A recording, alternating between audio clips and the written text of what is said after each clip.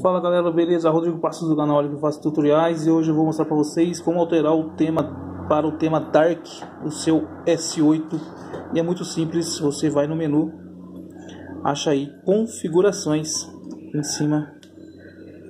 Em configurações você vai achar papéis de parede e tema. Quando você entra aqui, você já vai ser solicitado que entre na sua conta Samsung, então você cadastre se ainda não tem. Quando você cadastrar, você pode procurar o seu tema. O tema Dark, que é um tema que ficou muito da hora, é esse aqui. Esse aqui chama World Afterlife.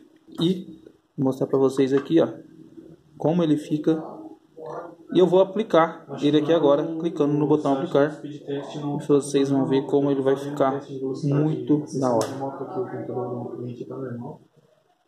Aqui ele vai ficar um pouco mais rápido porque eu já baixei esse tema.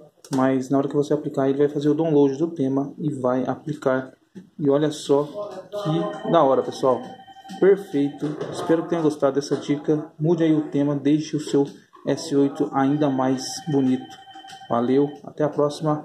Fui!